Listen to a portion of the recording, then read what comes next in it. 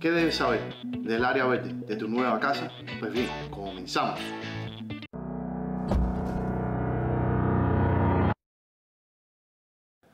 Cuando compras la propiedad, lo que vas a encontrar que una vez que habían excavado todo eso, hicieron la, la construcción, hicieron la casa, ellos limpian toda esa área de suelo, vuelven vuelven a poner ¿sabes? todo lo que es la capa vegetal y ponen aproximadamente 8 pulgadas de césped, que es lo que realmente tú te encuentras en toda la propiedad. Que tenga, eh, o sea, depende de si ya has tenido la opción de poder hablar con el contratista cuando estaban haciendo la casa para que tal vez, o sea, incluir dentro del precio poner los sprinklers o los regadores que le ponen a la vegetación, que es una cosa opcional, porque lógicamente te vas a encontrar son las 8 pulgadas de vegetación eh, en toda la propiedad y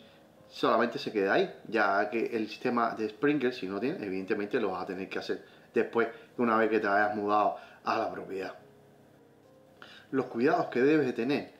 debes, debes estar pendiente, ¿sabes? cortar el pasto regularmente,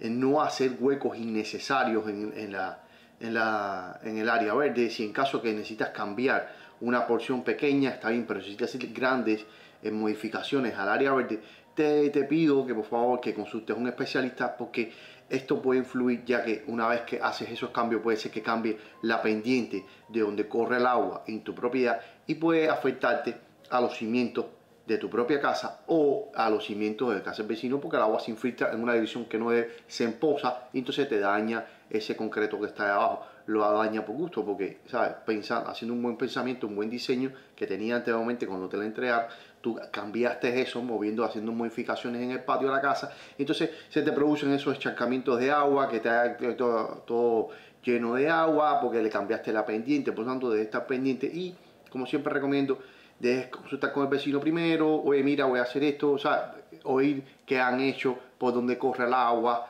o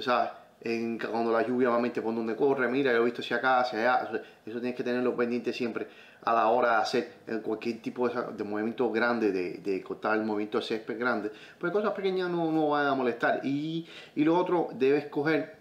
y evitar, ¿sabes? Hacer, hacer perforaciones en esa área verde. el, eh, lo más es que tratar de evitar siempre estar lo más despegado de la propiedad, ya que por ahí, como